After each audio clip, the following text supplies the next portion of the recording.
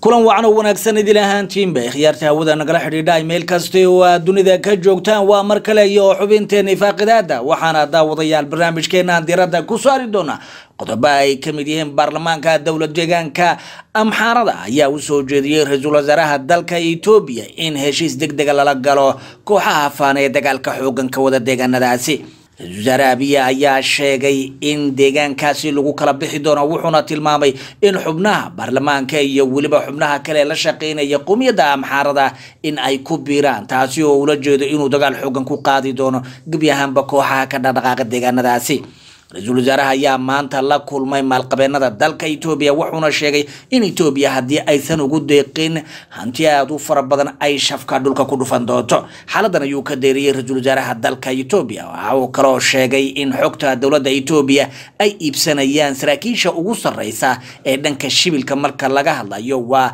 wasiirada iyo weliba xubnaha baarlamaanka kuwaasi oo ka iibsanaya xubno uu sheegay inay yihiin youtube-le iyo kuwa baraha bulshada ka macaasha waxaa kaloo daawadayaal aad ku maqli doontaan barnaamijkeena qowmiyadda lagu magacaabo oromada ayaa ku soo guurtay deegaanka soomaalida waxayna degmada hudhayd ay ka qabsadeen ilaa iyo saddex deegaan oo la tilmaamayo in laga dhigi doono deegaana cusub.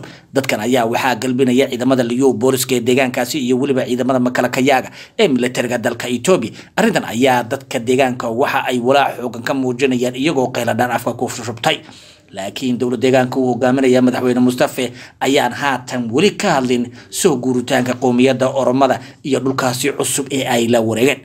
Arrimaha la yaab kale aan dowlad deegaanka daawadayaal idinkahayna waxaa ka mid ah dhakhaatiirta ka shaqeysa magaalada jigjiga iyo dowlad deegaanka ee ka soo dhaadhacday aan idhaahda qowmiyadaha kale ah. Waa qowmiyadaha etoobiyaanka ayaa dhibaato xoogan waxay ku hayaan ka ee bukaanka ee ku dhaqan dowlad deegaanka waxaa ugu dambeysay nin la sheegay in manqas idin lagu dhex iloobay dhanka kale xog kale oo ay nala wadaageen saraakiil sarsare iyo weliba dad neersa oo ka shaqeeya referal hospital. Waa hosbitaalka weyn ee ku yaalla magaalada jigjiga ayaan idinka haynaa waxaana isku celcelis ku dhinta. Maalin walba ilaa iyo shan dumara oo la sheegay inay ku umuraacaan kadib markii dhiiggii oo yaalla iyo weliba iyagoo loo heli kara in dadkaasi dhiig lagu shubo inay iska dhaga marinayaan taasina ay ku go'aan ambaba lagu xabaalo maalin walba dad aad u fara badan. Qodobo kale oo dowlad deegaanka ku saabsan ayaa inoo raaci doona dhanka iyo soomaaliyana waxaa la tilmaamayaa madaxweynaha jamhuuriyadda federaalk ee dalka soomaaliya iyo maamul goboleedyada in khilaafkooda uu cirka isku soo shareerayo.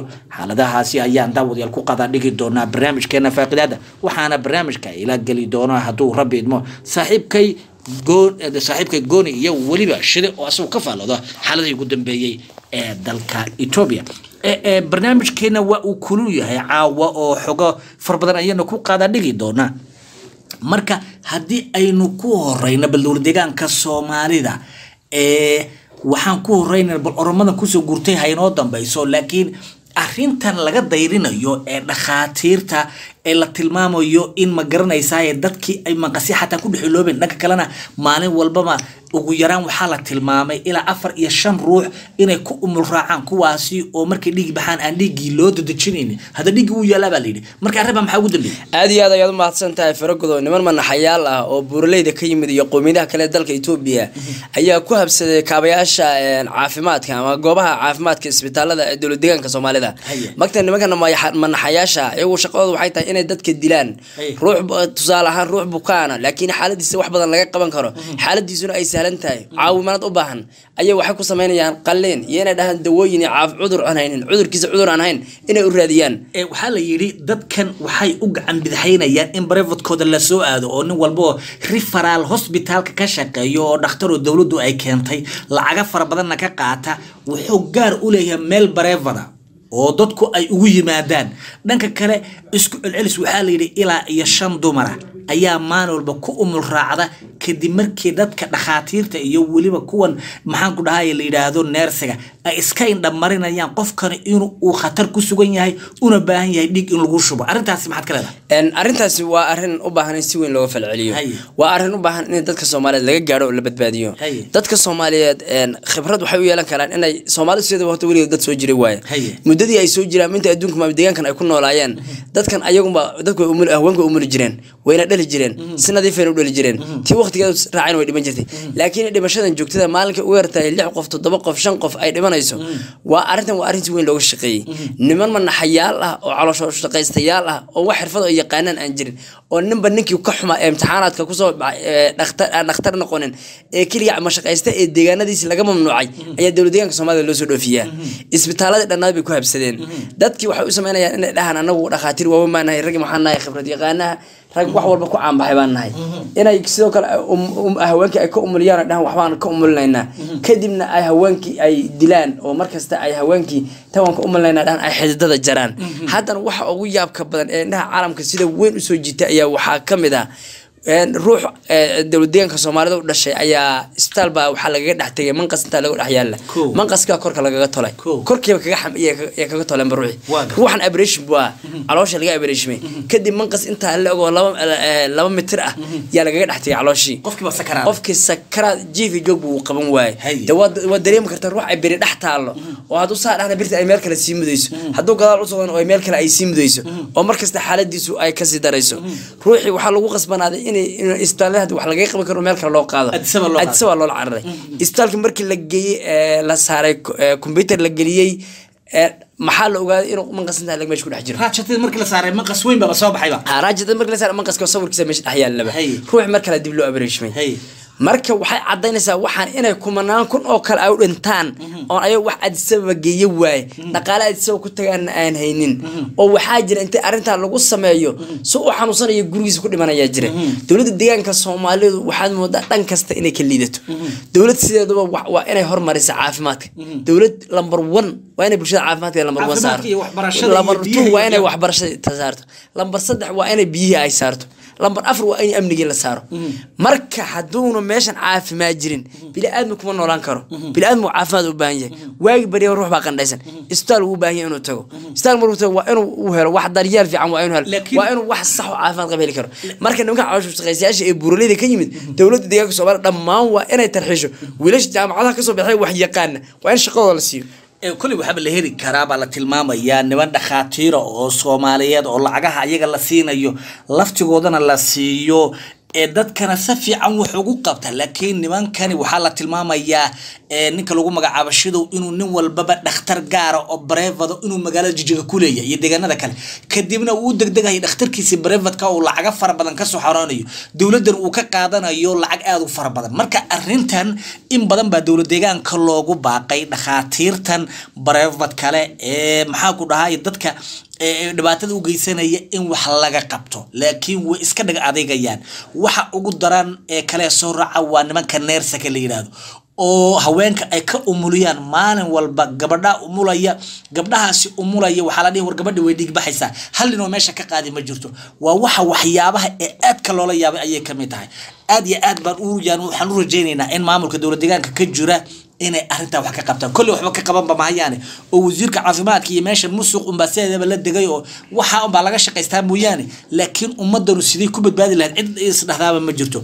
Ee shidow haddaan ku socono dowlad deegaankan weli ku jiraaye dhanka ee dowlad deegaanka waxaa la tilmaamayaa degmada hudheyd in deegaano horleh ay qabsatay nimanka la yidhaahdo oromada oo dad la dejiyay bal arrintaa ku soco deegaankaasi waxaa la dejiyey ee, dad oromo oo aada u tiro badan. Waa duleedka magaalada hudheyde Haye. dad kumanaan ah oo deegaanka oromada laga soo raray oo gaariyaha waaweyn ee santareelada lagu wado oo militariga uu gelbinayo ayaa magaalada hudheed loo soo raray. Dadkiisa u soo qulqulay xudka ka soo deegaano ku hareeraysan hudheed ayay degeen. Dhulkiiba iska xaxaaqdeen. Jiingadood iyo geedkooda iska guranayaan. Qashafkooda iska dadeen ciidamadii dadku waxaa la leeyahayba dadkan waa haweenka ciidamada. Dadku saasay leeyihiinba dadku way hubaysan yihiinba haddana way iska deegaamaysteen Haye. dhulki way iska degeen. Wax maamul ah oo dowlad deegaanka soomaalida oo jawaab ka bixiyena ma jiro. Marka maamulka oromada qorshe aad u ballaadhan ayay ka leeyihiin dowlad deegaanka soomaalida ayadoo sidaan horey halkan uga timidnaba lix iyo toban degmo ay ku darsadeen dhulkooda ayna u qorteen baarlamaankoodii iyo listiga dowladooda ay geliyeen haddana si eh, practical ah ayay u soo guureen. Dadkan waxaa lagu qoyaa dad ugu yaraan lix kun oo qoys gaaraya in meeshan la dejinay. Si maalinlaan ay u soo degaan. Dadka degmada hudheed arrintaa walaac badan bay ka muujiyeen. Maamulka dowlad deegaanka soomaalida way la wadaageen in deegaano dhulka soomaalida la degayo oromo ay degayso ciidamana ay waardeynayaan. Dadka ciidamana ay la degeen dhulka xoolo lagu qalanayo. Xoolihii soomaalida halkaa gaarana la afduubanayo laskaba qalanayo oon cidna ku weydiinin. Geelu hadduu halkaa gaartay lowguma laga jaha xabada lagu dhufan dadkaas baa loo qalayaaba waaba reero dhan oo meesha degmo magaalaysteen loodii ka daran. Loodii ka daran arigii ka daran. Ariga asiga harku baa la cunaya oo la liqayaaba. Kuma soo gaadhaysidba Ay. marka meesha solay baa ka socda. Dadka haddaan la soloninba ayaa la jooga. Marka maamulka dowlad deegaanka soomaalida dadka halkaas jooga xogta waxay sheegeen waxyaalaha kamidka waxaa waaye inay sheegeen hal askari oo dowlad deegaanka soomaalida oo hudhe jooga inuu cilada degmada lafteeda la degi karaa. Degmadii yaaba lala wareegi karaaba. Wax bini-aadmi baa kuma hudheyd waa degmada labaad markii mooyaale laga soo tago. Ee gobolka daawo u weyn waa degmo aad u weyne degmo aad u weyn waa degmada labaad waay. Markii laga soo tago mooyaale ama dekeda qalalan wax loo yaqaano. Marka xaaladda dowlad deegaanka soomaalida waa mid iska cakir waa mid aan meel ay dowladda mustafa maxamed cumar maanta lagu ammaanayo ammaanka halkaas maraya dhakhaatiirta halkaas marayaan biyo la'aanta waa arta dadka ajim culalaynaysa wax la sameeya lamaga xaaladda dowlad deegaanka soomaalida hubanti la'aan waa? Waxaa jirta barnaamij aan dhowr jeer ka hadalay oo ku saabsan dhalinyarada dowlad deegaanka soomaalida waxaaynu tilmaanay oo dhalinyaro fara badan inala soo xidhiidha inay shaqo la'aan baahsan ay ka jirto wasiiraduna eh, sidii waxaa wasiirka ganacsiga maalgaluta ka hadlayay inuu nin walba wiilka ugu dhow ku qoranayo oo xataa laftigeeda dowlad deegaanka way gaadhay arrintaas qaar baaba lahaaba madaxweyne xasan sheekh baaba ku dhawaaqay arrintaas waa hore sheegay. Marka madaxweyne mustafana waxaan u malaynayaa muuse ku dhawaaqin laakiin si hoose. Maanta lahaa. Aad buu aad buu u hirgeliyay marka waxaa la tilmaamayaa barnaamij kacdoon oo dhanka ee aan idhaahde baraha bulshada inay dhalinyarada dowlad deegaanka samayn doonaan. Marka bal arrintaa ku soco maxaa arrintaas waa arrin aad si loo soo dhaweynayo si weyn baan u soo dhaweynaynaa Haye. sababtoo tahay dowlad deegaanka soomaalida ninka waxaa la yiri haddada nin aan shantaada kaa reebin sharci kaama reeba la yiri mustafa maxamed cumar meel loogu ceersada male dadku kharaarkiisibay meesha ugu dambeysay ayaa maraysaa. Nacay meesha ugu dambeysay gaadhay. Haye. dhalinyaradii shaqa la'aan waay wax shaqo hayaan ma dhalinyaradu way taariibayaan. Kii wuxuu ku taariibaysa wadan ka tegayaan. Kii aan waxuu ku taariibayn gaaja dilaysa marka dhalinyaradu inay gacantooda isku xoreeyaan sida adduunka markuu nin meel qabsado hadduu ninkaas shaqadii loo igmado ka soo bixi waayo dadku ayagaas hor dhaafiya. Dadku hadday mudaharaadaan oo qayliyaan oo madaxtooyada aadaan madaxweynuhu xanuunka wuu dareemi. Dadku maxay ka cabanayaan budhow wuu soo bixi. Dadka waxay ku socon waxbuu ka qaban. Ama meeshii uu iskaga tego markuu qayladii adduunka dhan gaadho. Dadkii ayagaaba ayaga ayaga- ayaga- ayaa isgawracayaba nin gaajo la dhimanaya xuquuqdiisina uu nin kale cunayo oon hadli karin dowlad deegaanka soomaalida laga hayaa.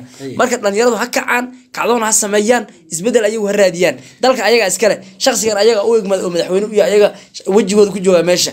Ayagakaas hadduu u qalmi waayo dantoodana ka shaqayn waayo nin ganacsataan u noqdo waa in meesha la dhaafiyo mustafa. Eh, waad mahadsan tahay dhanka haddii aan u leexano ee dowlad deegaanka amxaarada waxaa la tilmaamaya ra'iisul wasaaraha ka hadlay ee ganacsatadii uu la hadlay bal arrinta iyada ku soco deegaanka axmaarada waxaa horta xagga waxaan u horeynaynaa baxardaar baxardaar saddex beri waxaa ku shiriyay baarlamaanka dowlad deegaanka axmaarada oo ka dayriyay xaalada guud ee gobolka axmaaradan ay ku sheegeen inuu gobolkaasi ammaankiisi uu faraha ka baxay. Dagaalyahanada faanana ay dhulka ugu ballaarnaa qabseen marba markay ka dambeysana ay guulo hordhaca ka gaadheen caasimadana ayba ku soo dhawaanayeen iyo magaalooyinka waaweyn ee maamulka dowladda uu ka shaqeeyo. Baarlamaanku waxay soo saareen eh, qodobo aad u muhiim ay soo saareen. Oo ra'iisul wasaaraha etoobiya ugu baaqeen ama dowladda etoobiyaba in sida ugu dhaqsaha badan faana lala heshiiyo. Wax walba ay ku qanci kartaan faana la siiyo. Faana sida aan wada ogsoonnahayba in badan inqilaab isku dayday. Waa inay qabsatay deegaanka axmaarada iyadoon dhiig ku daadan inay madaxweynaha la wareegaan deegaankaas. Hadda dagaal bay ka doorbidaan hadda waxay di- waxay diyaarinayaan inay dagaal ku qabsadaan. Marka baarlamaanka waxay soo jeediyeen inay faana muwaadiniin yihiin. Muwaadiniin wuxuu dagaalamay inay dalkooda iyo deegaankooda maamulaan ay u dagaalamayaan dowladdu marka waxay dhan waa inay u dhamiriso oo ina dagaal ayn ka doorbidin abiy axmed waxaa loogu baaqay inuu miiska waa halka yimaado faanana seerta lagu qanciyo xataa madaxweyne hadday damacdo inay deegaanka axmaarada ka noqoto faano in lagu wareejiyo laakiin arrinta abiy baa gaashaan ku daruuray abiy axmed waraaq furan markiiba ka soo saaray baarlamaanka wuxuu yidhi baarlamaanka axmaaradow waa nii jeedna waxaad samaynaysaan waxaad fasheen ba fashee ninkii faano ku biiro ha ku biiro annaga dagaal baa noo dhexeeya Cool. annaga iyo faana mid baa ciidda ka tegi faana wax heshiisa nagama dhexeeyo wax nabadeen nagama dhexayso dagaalku waa uu soconaya dowladda awoodeeda isticmaalaysaa faanana waa la baabi'in si hadhcado ugu sheegay. Laakiin axmaar jawaabta ka bixin doonta ma dhowaan madaxweynaha deegaanka axmaarada wuxuu sheegay inay dagaal ka aadayaan maantana baarlamaanku dhex fadhiyay kow baarlamaanku dhex maanta marka walaaq la soo saaray. Cool. weli heshiis baa diyaar una Hay. faana waa in lala heshiiyo waa in dowlad miiska wada hadalka timaado. Marka waxan waa wax aad moodid un inay qowmiyadda axmaaradu ay ra'iisul wasaaraha ku minja- ku minjaxaabinayso laakiin abiy wuu fahansan ninkan waa dictator abiy axmed waa ninkii tigray waxaad ogeed ku dhigay. Axmaaraha marka sanad waa sannadkii baabi'i lahayd. Uma dahayo uma daahayo axmaaro uma ay. abiy wuxuu yidhi weli wax baan xiirinaynaa qowmiyado badan baan soo xasuuqnay. Axmaar inaan ku darro. Iska caddahay buu yidhi. Marka ninkan nin naxa maaha wuxuu ka hadlay oo la kulmay nimanka ganacsatada ambaba maalqabeenada dalka etoobiya maxay ka wada hadleen isagii waxaa kulmay ganacsatada dalka etoobiya ama nimanka maalqabeennada taajiriinta ayuu maanta iskugu yeedhay madaxtooyada. Wuxuu ra'iisul wasaaruhu sheegay inay deeqbixiyaashii dhaqaalihii dalka ka goosteen. Inay deymihii laga xayiray oo deymaha in dalku qaadan karin. Xaalad dalku inay aad iyo aad mugdi ugu jirto. Inay miisaaniyaddii ay dalka ay gabaabsi marayso bangiyada inay maran yihiin. Marka ganacsatada wuxuu ugu baaqay inay dalkooda ka naxaan. Oo ayagu gacantooda wax ka bixiyaan. Ayna canshuuraad iyo maaragtay wax dib dowladda loogu celiyo ayna ku xisaabtamine waa inay dhaqaalo ay ku deeqaan oo guddi iska doortaan dhaqaalo ku yabo. Guud ahaanna dalka dhaqaalo ka ururiya. Lacagtaana dowladda loogu deeqo. Haddii kale etoobiya meel aan laga soo qaban doonin ayay ku dhacaysaa buu yidhi. Abiy axmed dalka xaaladiis aad buu uga dayriyey dhaqaale la'aan aad weynay jirto in waqti la gaari doono aan dabka la qaadan doonin. Marka xaaladda etoobiya abiy inuu raba aas baan leenahay niyo Hey, arrintan aad baan u dhow ugu hamalaynaya abiy axmed. Waa gartay Wakaas. waxaa leedahay meesha waa lagu kala tegaya meesha lagu karto Hey. abiy markii hore asaga minority Hey. nin oromo minority ah Hey. oo oromo markii hore etoobiya waxba kama ahayn. Hey. maanta iyo ugu badanay? Ayaga ugu badan tira ahaan. Laakiin siyaasadda minority ka ahaayeen maanta marka oromada haysta Hey. abiy maanta geetaajo reeda waxaa laga hayaa inuu yiri hal fursad baana dhaaftay. Intaan etoobiya maamulayna labaatan iyo toddoba sana wadanka hayna buu yiri oo wadanada gacanta ku jirta laakiin hal qodob baa naga fakaday buu Cool. maalinkan aragnay inay tada ka sii baxayso inaan u yeernaa la rabay buu yiri kaala isu yaa xorriyad u baahan gacanta tahay ninka xorriyad u baahan ma getacho reeda dhih geetaajo afkiisa anaa ka hay waa la haya muuqaalku anaya Waa gartay. halka qodob waxaa weydiisay v o eda weydiisay Hey. hal wax oo ina dhaafay ma jirtaa ood ka tahay Hey. halka midaan ka shalaytaysanna waxaa weeye yiri maalinkan ar- marka aan anagu aan adsaba ka tegaynay yiri aan maqala u soconnay waxaan lahayn yiri abi wuxuu noqon doonaa xaylamaryan oo kale Hey. adsabana meel oogama socotaan hadduu xabad inugu soo inuu ordeed adsaba soo galaysaan mar kale wasaare cusub dooranaysaan oo ah Hey. yaan islahayn yiri Hey. laakiin haddii hawsha halkaa gaartay halka qodob aan ka shalaytaysana waxaa weeye yiri qorshe horta way noogu jirtay mar kasta. Cool. laakiin mar kasta wax waxaa wax badsan buu yiri wax beel baa ee- ee dhashaa buu yiri Hey. annaga wax badsan aan islahayn buu yiri hey. Oo meesha wax badsada laakiin wuxuu yidhi halka qodobana dhaaf wuxuu yahay inaan intaas kugu yeerno aan dhahna buu yidhi qolo walba ay go baarlamaanka wariyaha baarlamaanka federaalka u coday in qolo walba ay goy karto. Gacanta taaga. Ilaa ayaga gacanta ku haya ha gacan taaga taaga haye. Hey. baarlamaanka oramiyo fadhiiso Hey. dowlad madax banaan ku dhawaaqa waan ku dhawaaqanay aabo markaan lama diidi karin. Run. nin la leeyahay markii horeba inuu go'aan go la malan Waa go. Soomaalida iska badaaba. soomaalida iska badaaba cabdi ku dowlad madax banaan tirada ku dowlad madax banaan militariga awe qabiilka inkastoo qabiilka qabiilkiinaad dhulkiinaad lagu kala taga meesha. Halkaa mid baana dhaaftay. Marka abiya hadda ah intuu isle wax badso wax beel baa ka soo meeshaas. Asagaa la cuni doonaa. Laakiin abi qorshaha way ugu jirtaa. Nin walba meeshaad aad way ugu jirtaa qorshaha laakiin wax badsaa ku jirta. Sidoo afrikaanku xilka madaxtinimadu jecel yihiin. Intuu islaam beri wax ku dhiman bal hal bil ku darto laba bil hal sana ku darso. Hal sana wax yar ururi yaa asaga lagu yaacay. Marka oromo maanta fursadda haysata waxaa waaye inaan axmaariya tigray mar kale ayna kila arad ayna ku simin. Oo ayaga aan dib loo gumaysan. Aan dib loo gumaysan. Hadday xajin waayaan ha kala diro. Waa kaas. Kala tago meesha nin walba meeshu ka dhac ka dhaco. Kolay horta waxaa ficlaan lahayd shidow inuu aad ku dhageysanayo abiy axmed arrintan inay gaadhaan rajinaya ayaa ficlaan lahayd laakiin waxa weeye eh, eh, qoladan tigreega ee gunta ah waaga hadday saa samayn lahaayeen inta laiskuma soo gaadheene qolo walba qobtalkeeda qolo walba qobtalkeeda. Ayay horta gaar ula dhaqaaqi lahaayeen. Ah. marka arrintaas arrin dhaaftay bay noqotay. Gadajo redana ninkii wuxuu ahaa etoobiya idilba gacanta ku hayay. Ku madaxa surdoonku ahaa. Ah. marka wuxuu doonu qorahayeyba waa ninkii cabdili uu lahaa ma garanaysa ninkan ay ku soo maray. Ah. soo maray. Eh, aad iyo aad baad u mahadsan tahay ninka lagu magacaabo shide ee daawadayaal ee barnaamijkeena qeybta dambe ee dhanka soomaaliya ayaa inoo guda gelaynaa hadduu rabbi idmo dhankaasina waxaa inoo haya saaxiibkii ninka inta badan ka faallooda xaaladii ugu dambeeyey. Dalka soomaaliya waa ninka lagu magacaabo gooni gooni waxa uu tilmaamaya in aan idhaahde maamul goboleedyada iyo weliba madaxweynaha jamhuuriyadda federaalk ee soomaaliya ay kala yaacayaan oo mid mid ka amar uusan jirin. Haddaba arrintaasi ayaan daawadayaal ee focuska ku saari doona gooni ee bal ku soo dhowow. Qaybihii dambe ee barnaamijkeena ayaynu soo gaadhnay marka bal soomaaliya aan darandoorine soo horta fargodo waa mahadsan tahay. Haye. barnaamij kale oo nagu soo kordhay xagga SSC waan ku dareynaa Waa laakiin intaan barnaamijkaas u gelin dowladda federaalka soomaaliya berihii la soo dhaafay isqabqabsiga ka jiray. Waa garta dowladda marka een, maadaama maamul goboleedyada ku- dhegeen nimanka mucaaradka ahaa oo shirka wadatashiga qaran lagu dhegay. Nimanka muca- mucaaradka ahaa oo ay ka mid ahaayeen xasan cali kheyre sheekh shariif iyo guruubyada kale cabdiweli gaasi wixii dhan een, waxay soo jeediyeen. In barnaamijka wadatashiga qaran laga laabto in maxaa maamul goboleeda lagu boodo. Arrintaasay soo jeediyeen. In maamul goboleeda lagu boodo heshiiska wadatashiga qaran la joojiyo. Kaas marka waxay dan ugu jirtay maxaa maamul goboleeda aad dana waaweyn ka dhex. Een, puntland horta gooni ka tahay ayada meesha kuma jirto kuwii kale marka xashi maxamuud oo isku dhici rabaan. Arrinta marka wuxuu rabaa inuu ku boodo maamul goboleedyada heshiiska laga laabto doorashadooda la soo dedejiyo. Arrintaasaa laga dhadhiciyey. Gartay. arrintaa marka isqabqabsiga keentay hadda maamul goboleedyada waa xanaaqsan yihiin. Waa waatan hadda jawhara la godoomiyey baydhaba la godoomiyey maamul goboleedyada waxay leeyihiin shabaabkii waxay ku xumaynayaan xashi maxamuudba. Waa go-doonka xataa raalli ayba ka yihiinba waa marka arrintaas waxay rabaa in xasan maxamuud ay dhahno waa go-doonsannahay shabaabaan la dagaalamayna arrintaas suuragal maahan kan. Marka isqabqabsi oo cusub ayaa ka soo dhex baxay guddiga wadatashiga qaran iyo dowladda federaalk soomaaliya arrintaa marka waxaa keenayo xasan maxamuud la tashiyadoo badiyey la tashiyada markaa badiso marba group aad la tashato. Waxay ku keenayaan fikirkooda kugu shubayaan marka xasan maxamuud arrintaa marka maamul goboleedyada maadaama heshiis ula gala puntland ay ka maqnayd. Haddana nimankii cusbaa ee maxaa la mucaaradka ay haddana xasan maxamuud la hadleen haddana go'aan kaloo qaatay. Oo in maamul goboleedyada haddana maxaa la dhahaa arrinta ku boodo la yidhaha doorashada ilaa ilaa waa la soo dejinaa shabaab wadanka laga saaraa bilooyinkan bilooyinkan marka dhamaadaana doorashaa la qabanaa oo maamul goboleedyada. Ay ugu horeeyaan koonfur galbeed iyo maxaa la iyo galmudug kow laga bilaaba hirshabelle lagu xijinaa saasaa lagu wadaa. Kabacdi jubbaland lagu xijinaa maamul goboleed saasaa lagu dhamayna arrintooda puntland asagoo awood saas kuma lahan laakiin ayada nafskeeda waqtigooda iska soo dhow yahay iyada isku qabsi dagaal ka jiro. Marka xasan maxamuud qorshahaasoo qaatay maamul goboleedani dib inuu ugu badan tahay haddii aan ka gudubno magaalada muqdisho waxaa ka jiray een, habeenadii la soo dhaafo howlgal aada u ballaaran waxaana lagu beegsanaya ururka al-shabaab. Magaalooyinka degmooyinka intooda badan maadaama la dhaweeto weerar ka dhaceen. Waxaa la sameeyey howlgallo joogto ah oo gurguri loo baarayo xaafado badana la baaray. Dad ilaa dhowr boqol qof gaaray ayaa la soo aruuriyey ugu dambeyntiina ilaa dad labaatan iyo shan qof lix iyo labaatan qof waxiin ma garanaya laga soo qaatay. Inta kalena waa la sii daayay. Marka baadi goobka shabaabka ay aada loogu jiraa maadaama ay farxad markan oo ay soo yihiin. Dhanka kale dalka kenya waxay sheegeen inay shabaab badan ay soo galeen dhanka ay wajeer. Kadibna ay ka soo baxsadeen dagaalada ka jiro maxaa la yidhahdaa soomaaliya. Marka shabaabkii berihii la soo dhaafay farxaday bilaabeen maadaama duqeyntii ay ku badatay oo hadda dowladda federaalk soomaaliya ee galcad duleedkeeda ay ku duqeysay oo mareykanka iyagoo kaashanaya ay ku dileen ilaa iyo maxaa la yidhahdaa boqol qofood oo shabaab ah wararku waxay sheegeen in shan horjoog ay ku jirta boqolkaasi meeshan ay ku dhinteen. Teeda kale dagaal waatay shalay uu ka dhacay baydhabo iyo inta muqdisho oo howlgal weyn inta lagu sameeyey in maxaa la dhahaa urur- ururka al-shabaab meelo badan laga dilay ilaa iyo labaatan iyo shan qofood oo shan haddana horjoog ku jirto.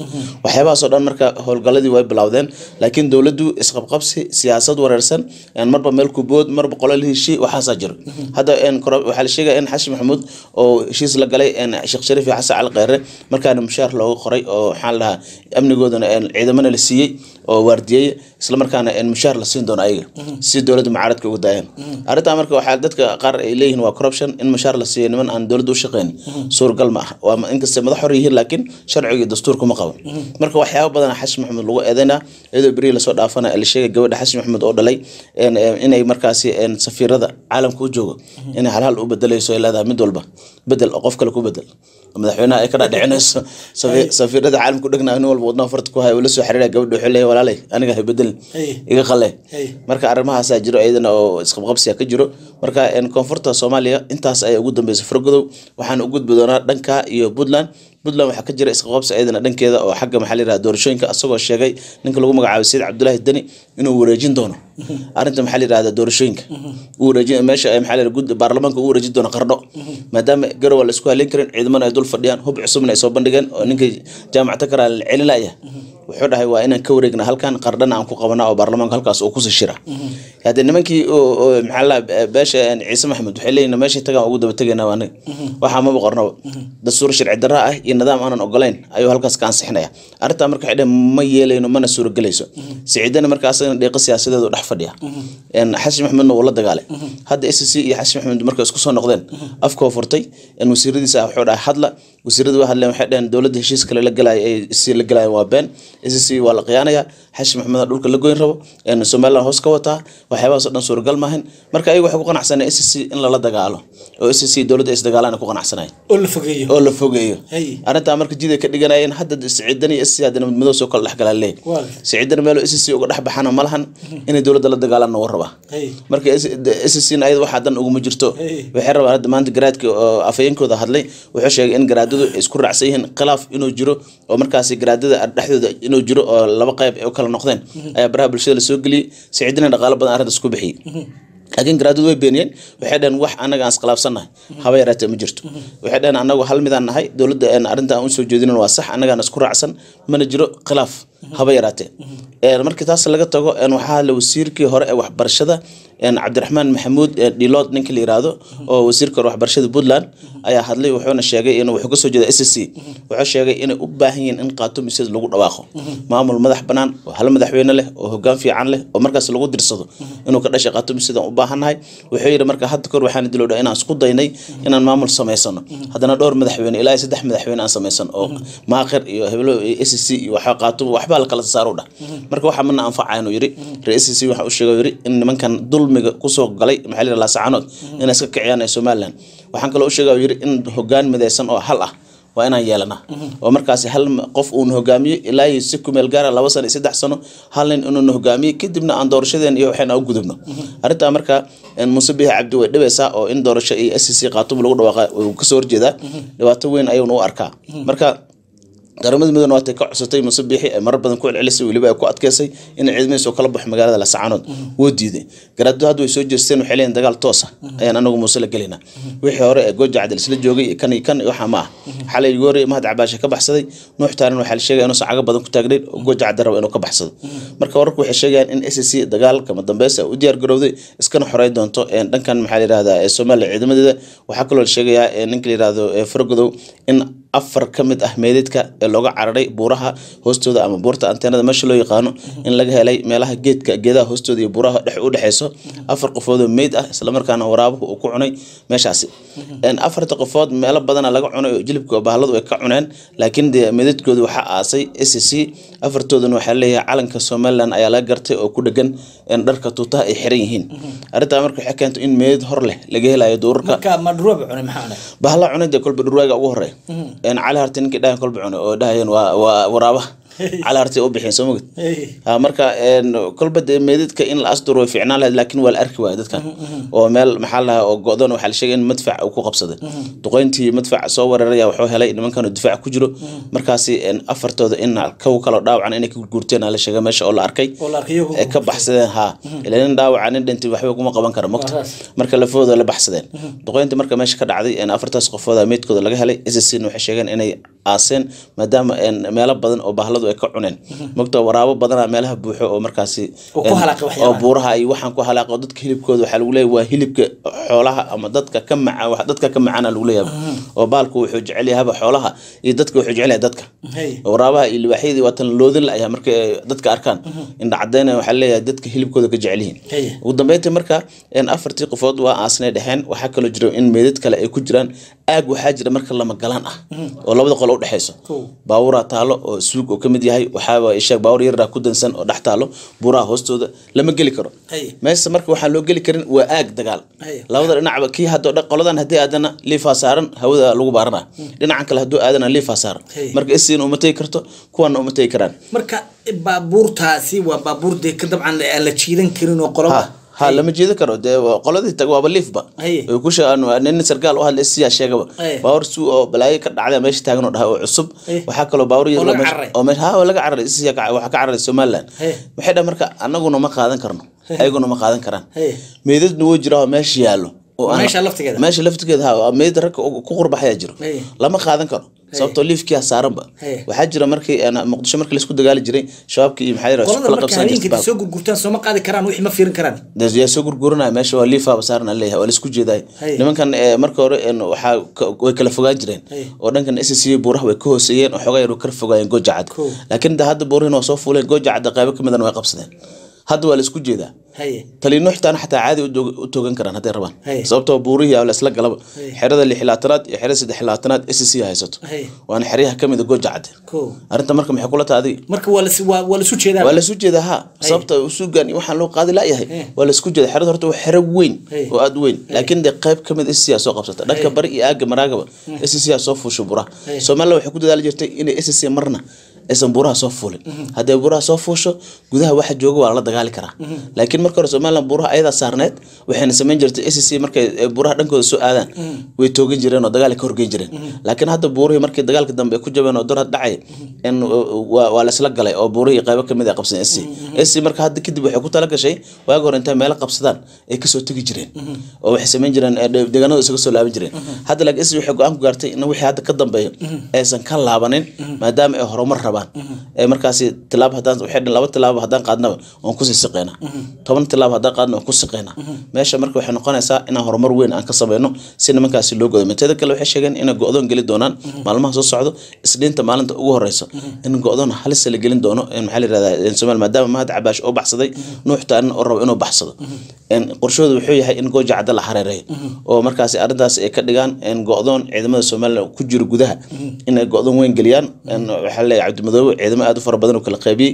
En muuse biixina ninka wadna qabadka ku noqday waa cabdimadoobe En niman badan oo saraakiil oo haystaa oo tababaran oo soddon iyo laba sano ciidan ahaa oo saraakiil sare oo dowladda siyaad bara la shaqeynaya haddana cabdimadoobe oo nin yar oo maxaakiimtii ku jiri jiray. Maxkamadihii islaamiga soomaaliya ku jiri jiray. En, cabdimadoobe halkaasoo ka soo bilaabay ciidamadiisa oo sii socday saasuu marka wax ku noqday nin ilbaxa oo markaasi wax fahansan ninkaas hadda ay taktikadiisii iyo qaabka wax u dejina ay macnaha keeni xalay yogori uu isku amni waaya mahad cabaashe waata u baxsaday somaliland gudaheeda nuuxtaan hadda waxaa leeyahay jidka yogori inuu xiraa laga baqaa mahad cabaash ninka cabdimadoobe inuu xiraa laga baqaa. Sababtoo ciidan badan reemiya ayaa meelaha lagu diyaariyey kuwo kale waxaa la sameeyey oo jidgal ah. Waxyaabahaasoo dhan marka waxay keenayaan in gooja cadde ee go-doon noqoto. Firgoda markaa xaalada ugu dambeysa ee SSC na halkaasay maraysaa En dagaalkan waa lasu gurguranayaa dhaartuna way socotaa. Muuse biixin wuxuu sheegay in isniinta intaan la gaarin lagu kala bixi doono gooja cadde ama lascaanood uu qabsan doono. SSC na waxay sheegtay isniinta meesha lagu gaaro inay xoreyn doonto. Gebi ahaanba gobolka sool aada iyo aad buu u mahadsan yahay daawadayaalkaasi wuxuu ahaa gooni oo barnaamijkeena gunaanad u ahaa inooga faalloonaya xaaladii ugu dambeeyey ee soolshanag iyo weliba cayn gaar ahaan aan idhaahday deegaanka gooja cadde oo muddo dhowr bilooda ay isku harfadhiyeen xogaga SSC iyo weliba maamulka somaliland barnaamijkeenina inta ayaan ku soo gabagabaynana inta dib u kulmi doon mid ka mid laba waxda geedigana sidaa iyo